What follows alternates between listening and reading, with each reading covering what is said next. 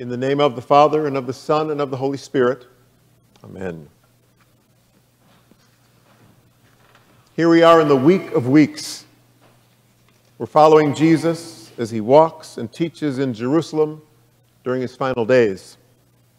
Tonight, we hear about the Greeks who are seeking truth and knowledge and are looking for Jesus. It could have been the day after Palm Sunday, maybe it was on Palm Sunday while Jesus was in Jerusalem. There was quite a stir in the city. First, these fellows, Greeks, see, they get a little help from Philip, and then Andrew too. They both go and tell Jesus. For Jesus, these Greeks wanting to see him is in some way a button being pushed. Somehow it's signified to him um, that the time had come. The commentaries don't talk much about it, which usually means they don't have any answers about this passage. What about the coming of the Greeks signified to Jesus that it was time? These folks are probably non Jews. For some reason, they're drawn to Jesus. And for some reason, now is the time for the Son of Man to be glorified. As a side note, the passage does not tell us that they ever got to see Jesus. I imagine that they did. It is time for the Son of Man to be glorified. Glorified can be good or bad, it can be good and bad. Jesus ties his being glorified to being a grain of wheat. You can follow that in the passage. The grain of wheat must die for there to be life. And then comes the phrase.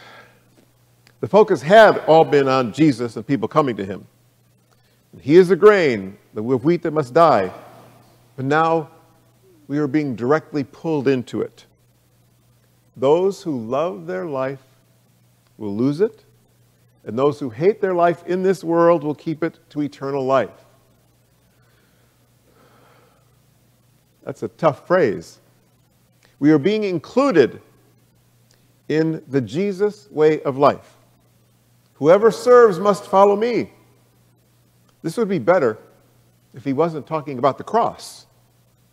That's what he's talking about right now. Jesus is sacrificing all and telling us to walk with him. And it is clear that his purpose is worth the cost. And what it will bring about is worth any price. But tonight we have to work a bit. Preachers like to make it easy for everybody, but tonight we have to work a bit. And you're the perfect folks to wrestle with the tough words of Holy Week. I mean, you're here. With some effort, and some patience, we can see the result of what Jesus did and participate. We can work to unpack the importance of what Jesus was saying, and it all won't happen tonight, I guarantee you. One of the benefits of Jesus going to the cross and dying on it is us. One of the results of the cross is us we come together drawn by the cross, becoming the community of God. As we focus on the cross, we become one. And I think there is no other way for us to be one. We certainly won't agree on a political party, theological thought, common cup or glasses, new hymns or old hymns, or even ice cream flavor, will we? It's the cross where we can be one. We are the fruit that is the result of the wheat falling to earth and dying. And when I say we, I'm not saying you, individual person, I'm saying we. We. And if we think about it, I know we cloud it, cloud it for ourselves, but we do understand this type of death. It does not always result in physical death, but it can. We grew up with stories about soldiers who jumped on a hand grenade to save their buddies. Sometimes it is a literal death that is the cost of sacrifice. Often, it's the little things that seem so big to us that need to be sacrificed. So when parents have children, lots of deaths occur. The death of much of their free time, the changing of priorities, and too many parents today have a difficult time with those types of sacrifices. And our culture can do much more to support them. To make a difference in the world or in the lives of others, it takes a certain type of death to ourselves. When we pause, we know it's true. It is a truth in the kingdom of God, and it is true as we follow Jesus today. And we model our lives after his journey to the cross.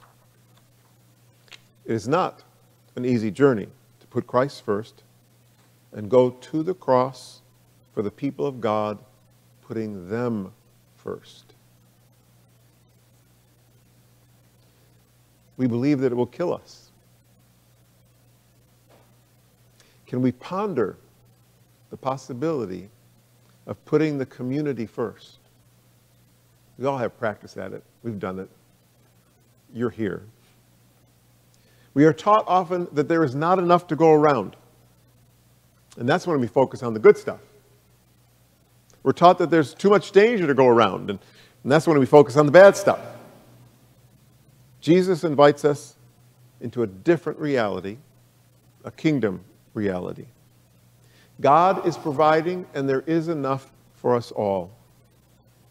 We can relax our grasp on things. We can pause our anxiety that causes us to struggle, struggle to make sure that there's enough for, for us, for me. We can trust each other and God. Isn't that the key? Trusting each other and God.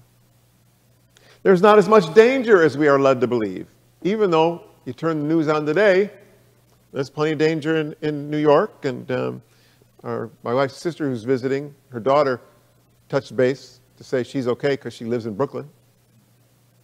So there is danger, but not around every corner. Years ago, one of my children asked me if I ever stopped to help people on the road. And the timing of the question was perfect because we were nearing a place where I had, in fact, stopped a few weeks previously to help a motorist who had driven off the road. If we're not connected, if we don't help others, if we are never helped, we're not alive. Jesus' words were and are true. If we lose our lives, we will keep them for eternal life. In fact, we will have true life now. If all we do is take care of ourselves, we are not alive. Death is winning the day. It is fitting that after our passage tonight, after the Father confirmed and glorified Jesus, that Jesus began to talk about walking in the light. It looks like it doesn't fit exactly, but it really does. It's like his conclusion is just that walking in the light. When you have the light, walk in it. As we walk in the light, we become children of the light. Children of light. The community of God. We are the people of God. And sometimes it's putting one foot in front of the other and taking a step. And um, trusting each other and trusting the source of the light. Amen. Amen.